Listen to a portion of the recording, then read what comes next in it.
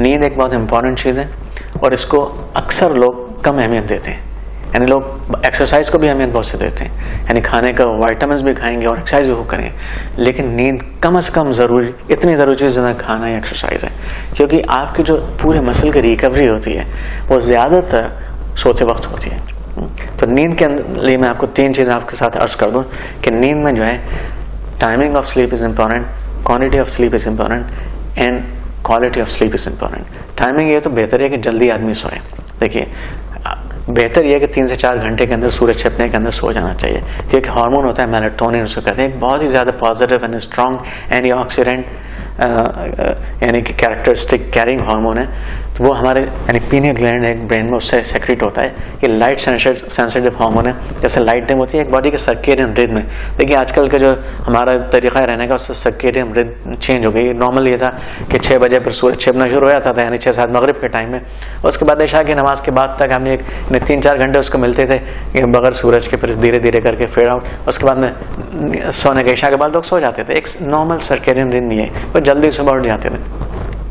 लेकिन अभी चूँकि लाइटें जलती रहती हैं, उन लोगों को दिन है उनके लिए, ठीक है? तो ये बेहतर ये कि उस सर्केडियन रिद्म चाहे हमारे पास आर्टिफिशियल लाइट है सन की जगह, लेकिन अगर हम उसको उसी सर्केरियन रिद्म को फॉलो करने की कोशिश करें हमारे जिसम के लिए सबसे अच्छा है। तो इस हिसाब से हमें चार घंटे के अंदर मगरब के, यानी सो जाना चाहिए, क्योंकि मेलाटोनिन का हार्मोन पूरे, यानी शुरू हो जाता है, चार घंटे के लिए करीब हमारा रहता है, जिससे कि हमारी पीक परफॉर्मेंस जो, यानी कि जो हीलिंग है वो होती है हमारी, चार से पाँच घंटे तक होती है। तो अगर हम जल्दी सोएँ तो हमें पूरी हंड्रेड परसेंट हमें healing repairment detoxification muscle recovery recovery मिलेगी एज अपोज टू अगर हम लेट सो रहे हैं क्योंकि फिर उसमें कमी आ जाएगी। अच्छा ब्रेक डाउन सेल्स का तो चौबीस घंटे मैंने अर्ज़ की होता रहता है तो सेल्स तो टूटते रहेंगे, लेकिन उसकी रिकवरी कम हो जाएगी। तो जल्दी फिर एजिंग होगी, बीमारियाँ होंगी तो देर में ठीक होंगी, इस तरह की चीज़ें।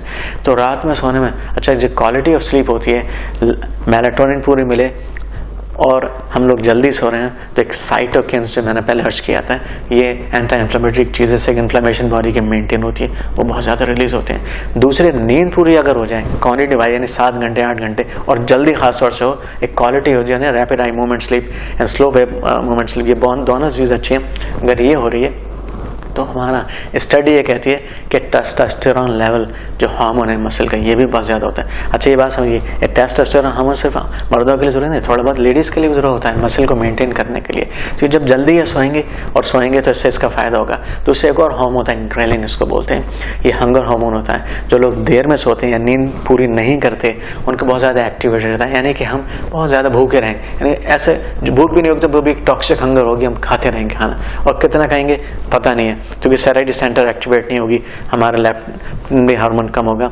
दूसरे से क्या होगा कि इंसुलिन स्पाइक बहुत ज़्यादा होती है। थोड़ा भी खाना खाएँगे इंसुलिन स्पाइक ये नींद की कमी की वजह से, इतनी सारी प्रॉब्लम सिर्फ़ नींद की कमी की वजह से होती है। और एक स्टडी है, इसके हिसाब से इस वक्त, मैं आपको अमेरिका की स्टडी बताता हूँ ये जो यंग यंग लोग हैं इस वक्त, ये भी इनको भी काफ़ी स्लीप डेप्रिवेशन है, कम सो रहे हैं क्योंकि आजकल जो हमारे पास ये गैजेट्स हैं मोबाइल और इस तरह की चीज़ें, और एक कमर बंद करके अपने उस पर लगे, बैठ जाते हैं मोबाइल के ऊपर तो पता नहीं चलता, आधा घंटा हो गया, एक घंटा हो गया और कब।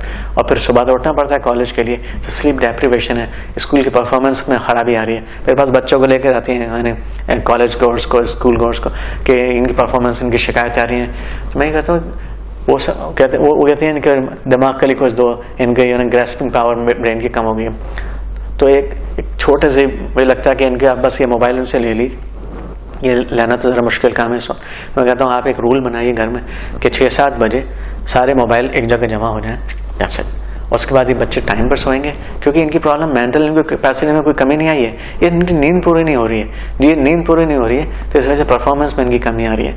दूसरी जो, जो इतनी देर तक जो वीडियो देख रहे हैं या जो भी कुछ देख रहे हैं गेम्स देख रहे हैं तो फिर हर किसी का एक रिप्रकर्शन रिप्रकर्शन होता है ना। तो उसके बारे में फिर थाट्स हैं और पता नहीं क्या क्या उसका फॉलोअप्स हैं इसमें हमारी मेमोरी जाती है माइंड जाता है टेंशन जाता है। ये सारी चीज़ें कॉम्प्रोमाइज़ हो रही हैं हमारी। तो जल्दी सोना ये बहुत ज़्यादा ज़रूरी है। एक तीसरी बात ये, जैसे मैंने अर्ज़ किया melatonin hormone light sensitive hormone है तो हम मोबाइल इस्तेमाल करते हैं कंप्यूटर पर हैं, ये लाइट्स भी टर्न ऑन है मेलेटोनिन का सक्रेशन प्रॉपर नहीं होता है। तो ये होता है जबकि बिल्कुल डार्क है। तो ये क्वालिटी ऑफ़ स्लीप मैंने अर्ज़ किया, वो उस वक्त होती है कि जब सारी लाइट बंद हो इसलिए लाइट्स को बिल्कुल बंद कर लें सोते वक्त। और अगर नाइट लैम्प की शक्ल में कुछ चीज़ जलाते हैं, उसकी भी ज़रूरत नहीं है ना? और कहीं और जल रहा हो तो ज़्यादा अच्छा। वो मोबाइल को बिल्कुल बंद करके अलग रख कर सोएँ।